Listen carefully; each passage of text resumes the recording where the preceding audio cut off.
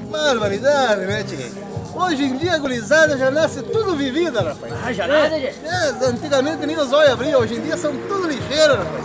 Esses dias eu tava vendo na maternidade, duas criancinhas, um menino e uma menininha um do lado do outro. O Piazinho recém-nascido.